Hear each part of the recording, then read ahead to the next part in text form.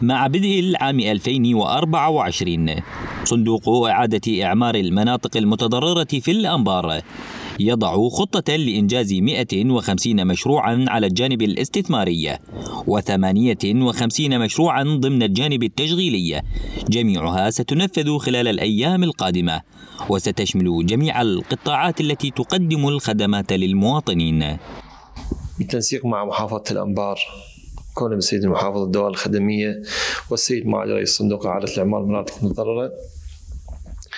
تم الإعداد لخطة عام 2024 والتي تتضمن جميع القطاعات لكن في هذه المرحلة حسب توجيه دولة رئيس الوزراء رفع المدارس الكرفانية والكرفانات من من الدوائر الحكومية. حيث باشر صندوق إعادة الإعمار بإعداد خطة كاملة بالتنسيق مع المحافظة لإدراج مشاريع تضمن التعليم. إكمال لما تشهده مدن الأنبار من إعمار.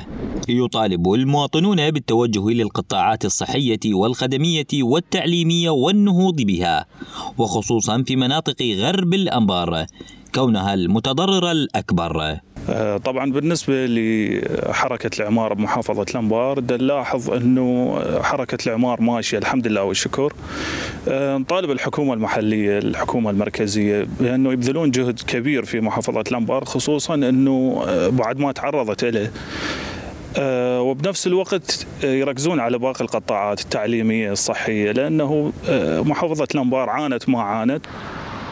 ومن ضمن أكثر القطاعات استفادة من مشاريع صندوق إعادة الإعمار خلال هذا العام هو القطاع التعليمي فسيتم إنشاء 45 مدرسة في عموم مدن الأنبار.